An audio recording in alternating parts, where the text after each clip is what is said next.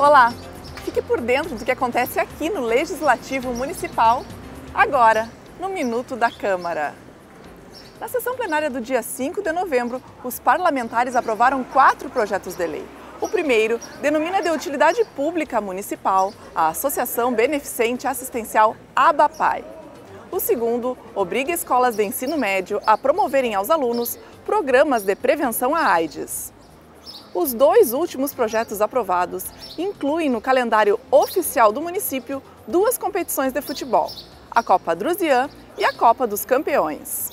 Já no dia 7 de outubro, os parlamentares aprovaram um projeto de lei. Ele cria o Dia Municipal do Protetor dos Animais. A data será celebrada no dia 4 de outubro.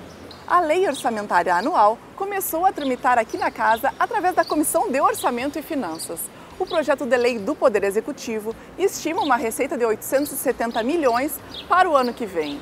A matéria foi aprovada por unanimidade pelos vereadores pela normal tramitação aqui na Casa Legislativa. Comerciantes do Shopping Independência estiveram aqui na Câmara pedindo apoio dos parlamentares.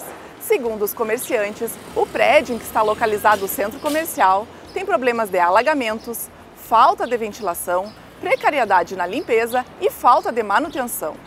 As demandas foram apresentadas à Comissão de Políticas Públicas no dia 5 de novembro. A situação do Presídio Regional de Santa Maria foi fiscalizada pelos vereadores no dia 6.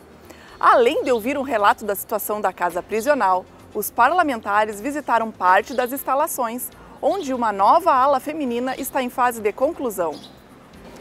Também no dia 6, a Comissão Parlamentar de Inquérito, que investiga possíveis irregularidades nos cemitérios municipais de Santa Maria, fez vistoria nos cemitérios Campestre do Menino Deus e Jardim da Saudade. Os vereadores constataram que os dois cemitérios estão com a manutenção precária. A comissão especial que fiscaliza a aplicação do financiamento de até 78 milhões para a melhoria das vias e estradas do município realizou vistoria no distrito de Santa Flora os vereadores verificaram que em dois pontos específicos da estrada, a colocação das pedras não foi suficiente para a melhoria da travessia dos pedestres e motoristas.